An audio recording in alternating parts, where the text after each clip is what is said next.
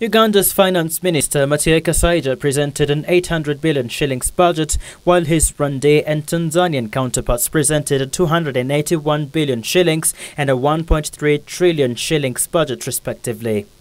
Going with this year's Industrialization for Job Creation and Shared Prosperity East African theme, the Ugandan Treasury provided 1.7 billion shillings in the next financial year for the Youth Livelihood Program to fund over 5,000 youth enterprises and benefiting 61,000 youth.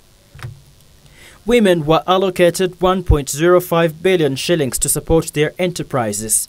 The Ugandan government is also keen on adding 783 megawatts to the national grid over the next two years in an effort to provide cheap energy for manufacturing. The minister says they have allocated 16.4 billion shillings to cater for maintenance of national, district, urban and community roads. The Tanzanian budget, on the other hand, seeks to increase manufacturing with Tanzanian government lowering corporate tax from 30% to 20% for five years on new investments in pharmaceutical manufacturing and leather processing. Tanzania also hiked its tariff on imported crude palm oil for one year by 25% to boost its domestic production.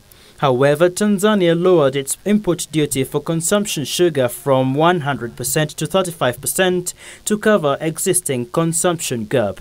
Edible oil, safety matches, iron products, chewing gums, sweets, chocolates, tomato sauce, meat, sausages, biscuits and mineral water taxes were increased.